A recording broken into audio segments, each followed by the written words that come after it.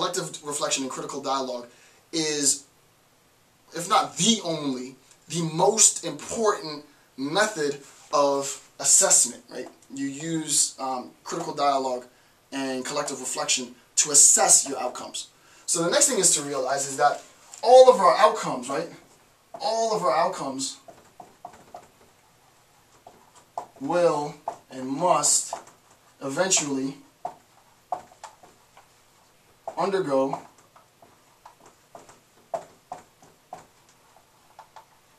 right? You're not really doing participatory action research if you're not assessing your outcomes. I mean, anybody can say, oh, I'm going to go into community and I'm going to do X. I mean, going into community and working with people to do X is one thing. The question is, why are you doing X? What's the purpose of X, right? Um, why is X imperative? Why should we define X as the outcome? What we do is we make, and I'm not going to get into assessments now, that's a different lecture, but you need to create a, a system of assessing the, um, the, the efficiency and the effectiveness of, and I actually I did a lecture on um, program evaluation. It's more of like a program evaluation vibe. It doesn't have to be that intense, but these are all technical words, and I'm not going to get into it now. But you really want to check the effectiveness of your process, right? Your participatory action process, and checking the effectiveness. And I apologize if it's a little too advanced, but I, I, I do need to finish the sentence. But in checking the effectiveness of your process, you'll recognize whether or not your outcome um, would have followed, right? This is, this is what you do in order to reflect back on your critical reflection. So the next thing to recognize is that your outcome, right, your outcomes, the efficiency of your outcome is going to be contingent on, as I said, one,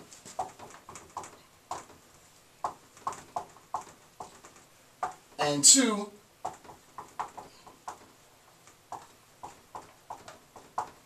right, the effectiveness of your outcome is a condition of, or conditioned by your critical um, uh, dialogue and collective reflection. In philosophy, we would say that one and two are necessary conditions for um, for this consequence, right? It's it's important that if you're trying to get an effective outcome, an outcome that solves the problem, then it must be the case that before your outcome, you were engaged in critical dialogue and you critically reflected. It can be the case that you arrive at an outcome and your outcome does not solve the problem, and the reason your outcome in participatory action research didn't solve the problem is either because you weren't discussing clearly what the problem was, there might have been communication barriers, translation barriers, language barriers, whatever, or, or, or worse problems, you know, sort of like power imbalances and so on, which would devastate your research. Or you weren't co collectively reflecting on the process as you went through the method. This is guaranteed something went wrong in either or both of these phases, right? So it's important. All right. So, um, anytime we're talking about outcomes then, right, and we're still here at outcomes, anytime we're talking about outcomes, the first thing to recognize is that outcomes obviously are concerned with problem solving. P-R-O-B. Outcomes require organization. None of these really require. You can have um, outcomes which, and I, I talked about this before, right? You can have outcome which which um, addresses and requires policy changes. This would be a very, very difficult outcome to implement. You'd have to be pretty, pretty far ahead in your in your graduate study um, to get a, a, and it would be hard to get approval for policy change. Like you went in specifically to change policy, because I mean that involves you know government regulation and rules. That's pretty revolutionary. More power to, to you if you're doing that type of participatory action research, because that's about as hardcore as it gets, right? Once you get into policy changes, it's it's heavy, and people do it all the time. But um, just know that uh, policy changes as an outcome in participatory action research, for me, is probably the hardest type of participatory action research that you can get, that you can do.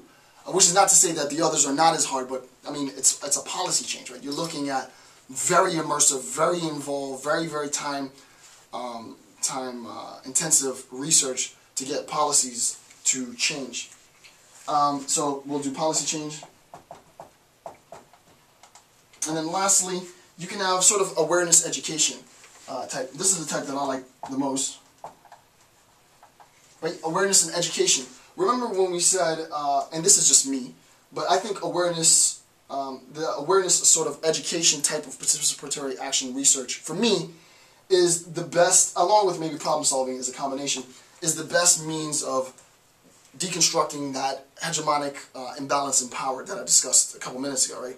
Where there is um, hegemonic reinforced narrative of oppression, the best way to counteract that narrative of oppression is to make people aware that we're all the same. It sounds really corny, it sounds really, really hokey, but it's just that simple. And it's just that complicated, right? We are, we are, as a species, unfortunately, wedded to our biases, wedded to our discrimination. It's part of who we are, I believe, unfortunately. Um, I know people say we learn it and blah, blah, blah, but it's socially constructed, but, you know, the other narrative is no, we're pretty vile people if left without sort of government reinforcement or the threat of punishment. Um, and what you need to do is just create a counter narrative, right? And the way that you create this counter narrative is by spreading awareness. That's the whole point of my personal nonprofit um, as a really big sort of participatory action, ongoing research project is, hey, guess what? Genocide's a problem.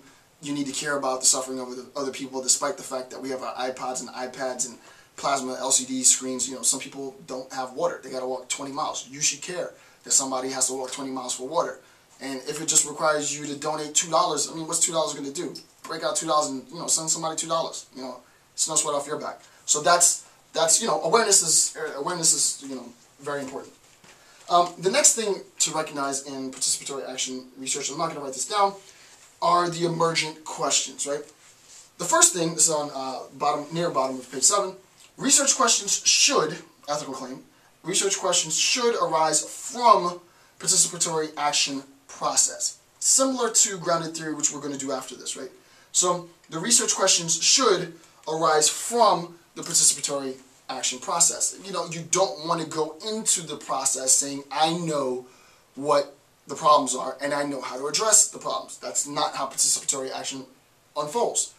You say, I, the way to, to sort of engage participatory action as an interested scholar, student, is to say, I've heard that there might be this problem, almost in that, that exact phrase, right? I heard that there might be this problem in this community. You go there. In fact, there is this problem, but it's much, much worse. Or, in fact, there is this problem, but it isn't as severe. Sort of this assessment, this change in, in tenor, this change in, in the situation, this condition, um, requires that the, the, the narrative that emerges from my researcher, uh, my research arises from the process itself. The process, my involvement is going to serve as the foundational, the foundation for my research questions, my research objective. You'll better know what it is that you're attempting to do after you get involved in the process. Um, participants should always be encouraged to critically reflect on the research questions and emerge um, and the emergent research question, right? Reflect on the questions. Participants is important. Both members, at least the way I teach it, both the researcher and the participant are participants, right? When I'm teaching it, when I mean participant, when I say participants, I mean both the researcher and the participant. I'm sort of Freirean in that sense. It's the researcher participant, the participant researcher. Everybody there needs to always be critically engaged in reflecting on um, the research questions and, and, and obviously the outcomes. What is the outcome that we're attaining? Are we getting closer? Are we getting further away? What can we do to get it? How can we do, what, you know, what did we do wrong? What did we do right? What can we do better? And so on. Until you get to a point where you've answered the problem but it's not always the case that you're going to be able to identify the problem, especially if it's a policy change, right? You might fail in your attempt to implement policy change within the community, but you gave it the best shot that you could. And what you do is you type up your research, you say, here's what I did. Unfortunately, because of time constraints or money or whatever, I wasn't able to get it. Another researcher who's interested in maybe picking up the baton where you left off can look at your research and say, hey, you know, I read Mary's research on this community in X country, and here's what what she did great, but she ran out of time. Let me just pick up where she left off, and you know that's how you know that's what research is about. It's us passing the baton, doing as much as we can, and then um, sharing sharing our sources. All right. The last thing about participatory action research is that it is the recursive process, right? What is this recursive process of participatory action research? So the recursive process of participatory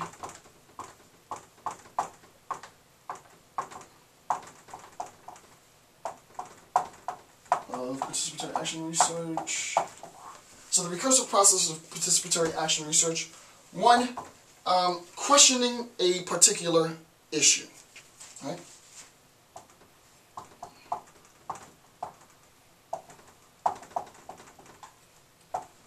The next thing that you want to do is reflecting on and investigating the issue. Reflecting on and investigating the issue, right?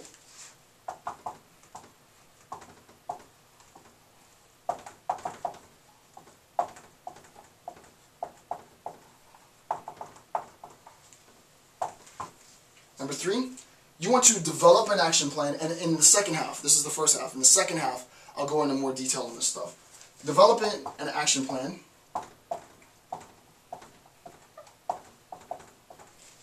And then number four, finally, implementing and refining the plan.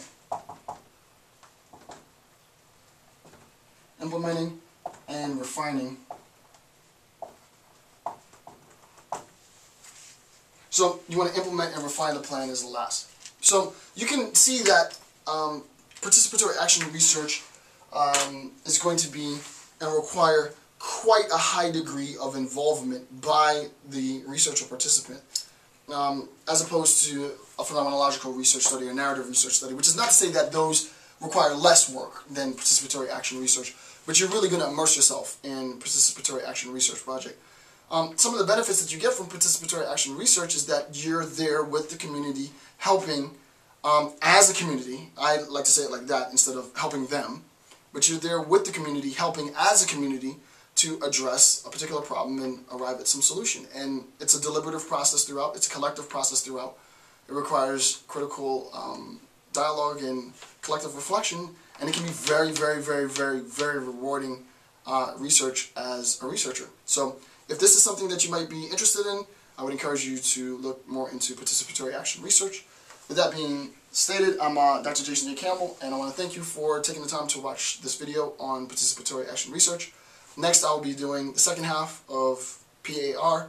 Then I'll do grounded theory, ethnography, and case studies, and that will conclude um, this sort of extensive analysis into uh, an introductory account of methods of qualitative research. So, thanks a lot for watching the video. I'm Dr. Jason J. Campbell. Have a good day.